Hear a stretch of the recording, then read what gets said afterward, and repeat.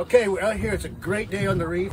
Water's pretty calm. Uh, we've been here about a half hour. I'm tied up. I've got my chum bag hanging off the port side. As you can see, you got some chubs, you got some, some type of damsels, you got some yellowtail, smaller yellowtail. Further out past the net, I can see uh, the more, the larger yellowtail, and I actually see a turtle coming up behind the ballyhoo net.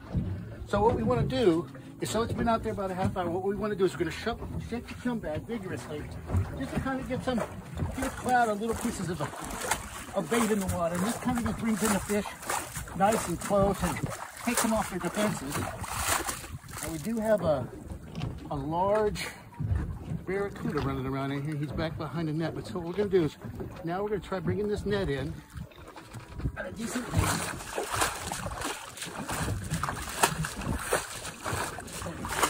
Here We'll come up right behind them.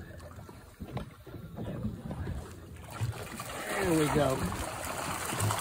There's your day's worth of live ballyhoo. One catch.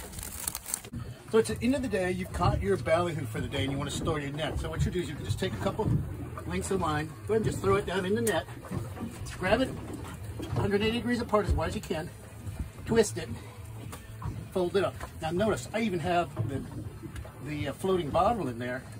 That saves you the trouble of having to do it next time. Wrap the tail of the net around a couple times. And then what I like to do is I wrap the hand line around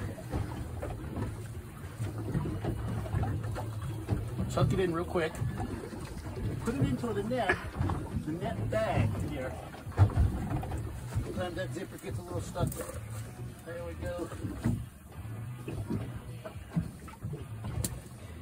In the bag, tidy, and wrapped up, not gonna hang on anything. The last step, and this is why I use this bag. This bag is porous.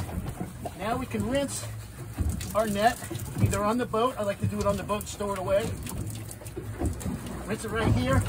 See the water gets in, cleans the bag, and you leave it in there to dry. All done in one shot, ready for the next trip.